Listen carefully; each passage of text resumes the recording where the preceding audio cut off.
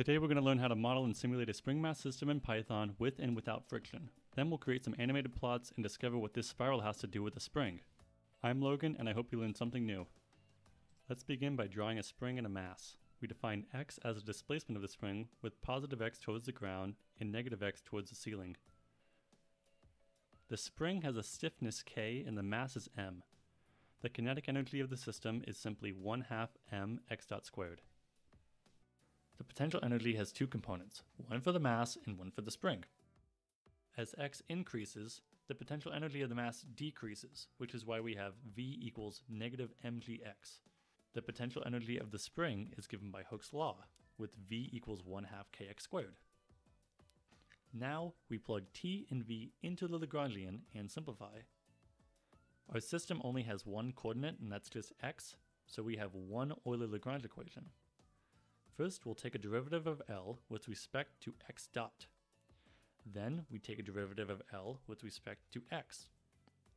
Solving for x double dot, we obtain our equations of motion for the spring mass system. Now, let's go ahead and double check our work with a simple Python script.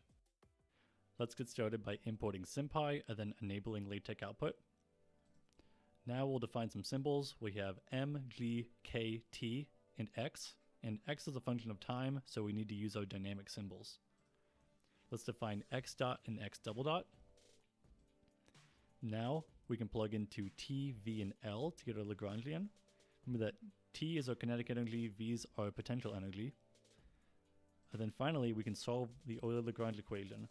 So here, we'll write down the Euler-Lagrange equation, and then use the solve command, pull out the first solution, and then output that to the screen.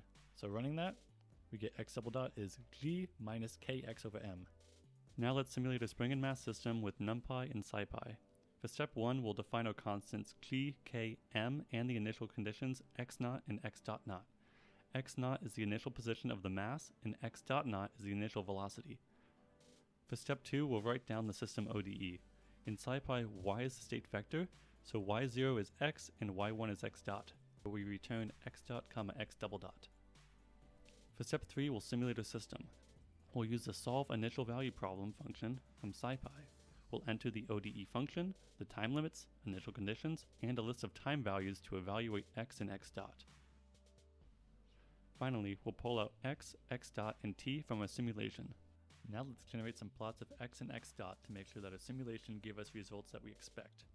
First, we'll import matplotlib, then we'll plot x and x dot as functions of time. We'll set the line width, the color, and also give a label for a legend.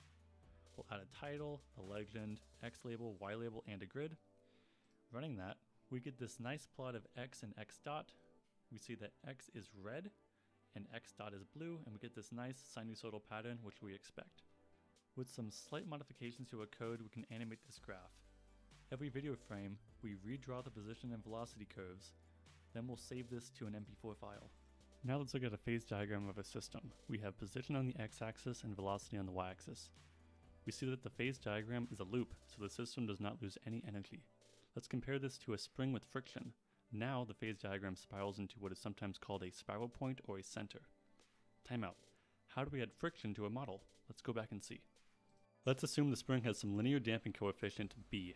The Lagrange's equations normally assume that the system does not lose any energy, to model friction, we need to add an element that sucks away energy from the spring and mass.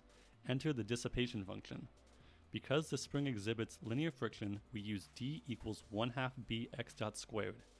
Plugging this into the Euler-Lagrange equation, we eventually get an equation of motion for the spring mass system with linear damping. We update the simulation code by first adding our constant b. We'll add our new differential equation called the spring mass with friction, ODE, takes in t and y, will return x dot comma g minus k x over m minus b times x dot over m.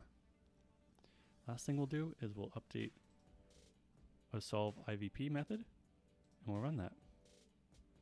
In the time domain and the phase domain, we see that our system reaches a steady state.